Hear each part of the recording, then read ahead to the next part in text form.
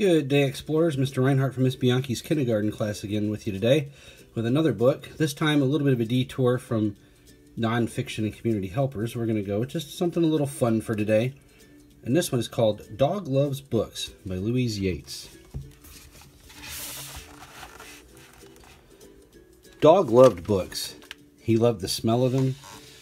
He loved the feel of them. He loved everything about them.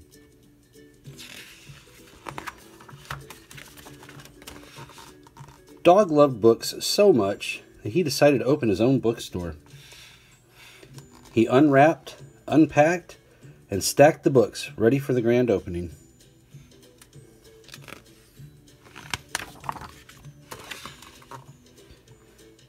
When the day of the grand opening finally came, Dog had a bath, dried his fur, blew his nose, and threw open the door to greet his new customers.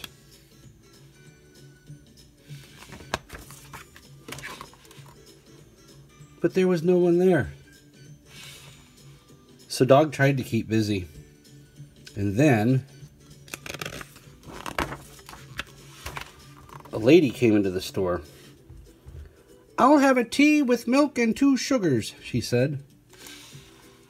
I'm sorry, said Dog, but this is a bookstore. I only sell books. The lady walked out.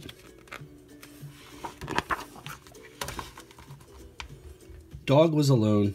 He waited and waited. Then a man came into the store.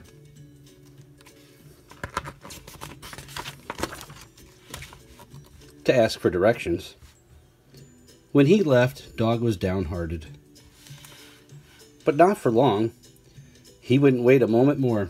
Dog fetched a book from the shelf and began to read. When he read, he forgot that he was waiting.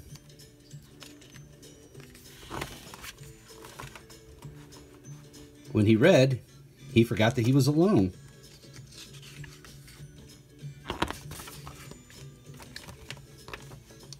When he read, he forgot that he was in the bookstore.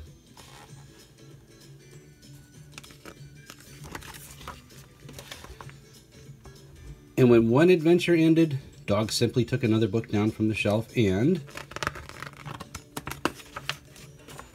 a new adventure began.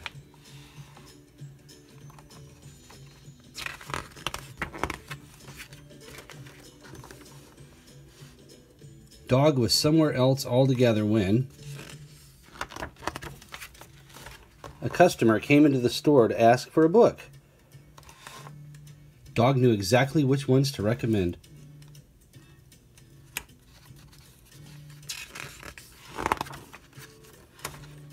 Dog loves books, but most of all, he loves to share them.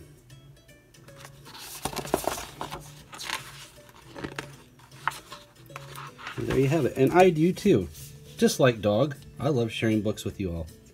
I hope you enjoyed that, and I hope you have a great, uh, great afternoon.